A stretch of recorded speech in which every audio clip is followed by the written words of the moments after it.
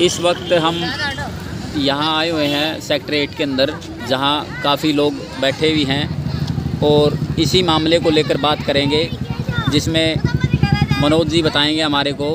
हाँ जी मनोज जी कितने टाइम से आपका ये धरना चल रहा है? इनका पिछले दिनों से जो नेगोशिएशन है भट्टा मजदूरों की जी। उस यूनियन के साथ चार बार नेगोशिएशन हो चुकी है। हाँ जी। इनकी रेट को लेकर हाँ के जो। न्यूनतम मजदूरी है जो एक पथेर का रेट है हाँ वो पाँच सौ उनतालीस रुपया सरकारी रेट है। जी। और उसी मांग की तर्ज पर भट्ठा मालिकों से उनकी यूनियन से और मजदूरों की यूनियन के बीच में नेगोशिएशन हुई है चार बार। चारों बार मालिकों का रुख ठीक नहीं था वो इस हिसाब किताब पर नहीं आए। वो नेगोशिएशन टूट गई। टूटने के बाद मजबूरन मजदूरों ने अपना काम धंधा छोड़कर यहाँ डीसी कार्यालय पर अपने हिसाब के लिए आए हैं।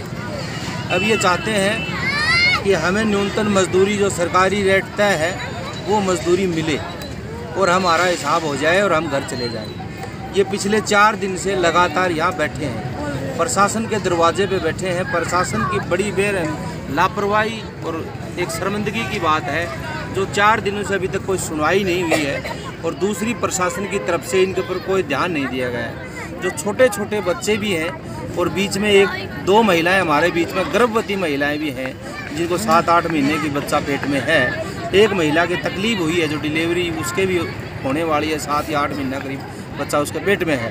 वो शायद भट्ठे पर वापसी गई, वो तकलीफ़ ज़्यादा है और ये एक महिला हमारे बीच में बैठी है।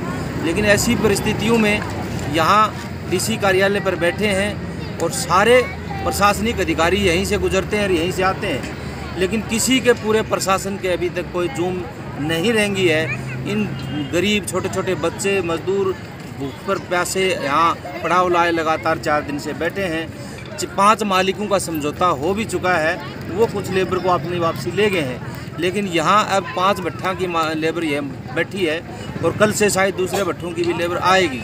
लेकिन अभी तक कोई प्रशासन की तरफ़ से भट्ठा मालिकों पर दबाव बनाया जाए या इन मजदूरों को राहत दिलाने का काम किया जाए ऐसा कोई कदम नहीं उठता दिखाई दे रहा है। वार्तालाप चल रही है। कल का आश्वासन मिला है कि मालिक वो आया था पाँचों भट्टा मालिक को हम लेकर आएँगे। अभी आश्वासन पर दिन कट रहे हैं। कल क्या होगा वो आने वाली समय बताएगा। तो इनके खाने पीने की व्यवस्था कौन सर कौन करवा रहा है? व्यवस्था प्रशासन कोई व्यवस्था नहीं कर रहा है। कुछ रोटी बैंक है उससे मदद मांगी जा रही है। थोड़ा बहुत खाना सुबह शाम का वो पहुँचा देते हैं। कम ज़्यादा थोड़ा आधा भूखा भी रहते हैं पूरा खाना भरपेट नहीं मिल पाता है। कुछ अपने स्तर पर जितना इनकी परिस्थिति थी उतना थोड़ा बहुत अपनी जेब से खर्च की भी वो खा रहे हैं। ऐसे दिन काट रहे हैं कोई भरपेट खाना अभी इनको नहीं मिल पा रहा है। बड़ी एक शर्मिंदगी तो की बात रात को ये बच्चे यहीं रहते हैं मतलब हाँ, खुले मच्छरों में अच्छा अच्छा एक चीज़ और बताओ। तूफ़ान में हम्म, लगातार अलग अलग परिस्थिति से गुजरना पड़ रहा है। छः तारीख को रात को वो दो चार साथी आ गए थे वो बदतमीजी भी करी इनके साथ और उनको तुरंत सूचना मिलने पर आए और उनको फिर वहाँ से भगाए। ऐसी परिस्थितियों से वो मालिकों से बातचीत करके आए थे, क्या करके आए थे? मजदूरों को धमका रहे थे, डरा रहे थे। ऐसी अनेकों प्रकार की परिस्थितियाँ आ रही हैं। तो इन छोटे छोटे बच्चों की मान लो या जैसे भी मान बात करें आप भाई इनके नहाने की फ्रेश होने की या मेडिकल की कोई ऐसा कुछ यहाँ फिर वो कैसे एडजस्ट करते हो? तीन बच्चों के बुखार और तबीयत खराब थी कोई व्यवस्था मेडिकल की है नहीं। ये खुद ही अपनी सतर पर मेडिकलों से कोई नॉर्मल दवाई लेके वो अपना टाइम काट रहे हैं। यहाँ को शौचालय की वगैरह वगैरह कोई व्यवस्था नहीं है न पानी की है न कोई छोटे बच्चों की दूध की और की कोई व्यवस्था है। बिल्कुल इनको अपनी परिस्थिति पर जीने और मरने के लिए प्रशासन के बारना आगे पड़े हुए हैं। और चार दिन से डटे हुए। तो डिलीवरी वाली कौन सी महिला है? ये महिला है। कितने टाइम से हैं? महीने आठ महीने हैं। आठ महीने? अच्छा। अच्छा अच्छा। तो बाकी इनको दिक्कत कोई प्रॉब्लम? हो है, है। अच्छा ज़्यादा दिक्कत होगी पे गई है। ठीक है घर बाकी बाकी इनको कोई दिक्कत। ये कह रहे हैं ये भूखे प्यासे पड़े हुए हैं यहाँ पे। अच्छा। इनको अगर खाना पीना नहीं मिलता है इस करके एक लेडीज़ बीमार भी होगी उसको हमने घर पे भेज दिया है। वो ज़्यादा बीमार हो गया है। कितने टाइम से कोई दिक्कत हो रही है आपको? कोई दिक्कत होती है लोग पढ़ने लगे नहीं। चलो और बाकी मतलब यही समस्या है और इसको लेकर आप लगातार चार दिन से धरने पे बैठे हैं। हाँ लगातार हैं? चार दिन से धरने में बैठे हैं आश्वासन पर चल रहा है अभी बातचीत चल रही है। जी जी जी।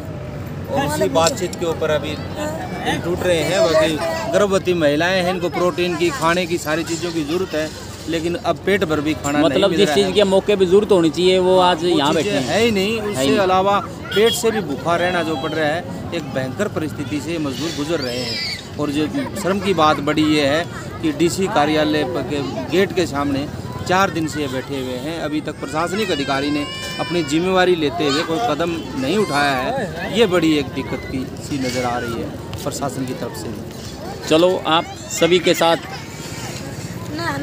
सहयोग ऊपर वाला ज़रूर करेगा, क्योंकि प्रशासन भले ही ना सुनता हो, लेकिन ऊपर वाला ज़रूर देख रहा है ये छोटे छोटे बच्चों की तरफ़।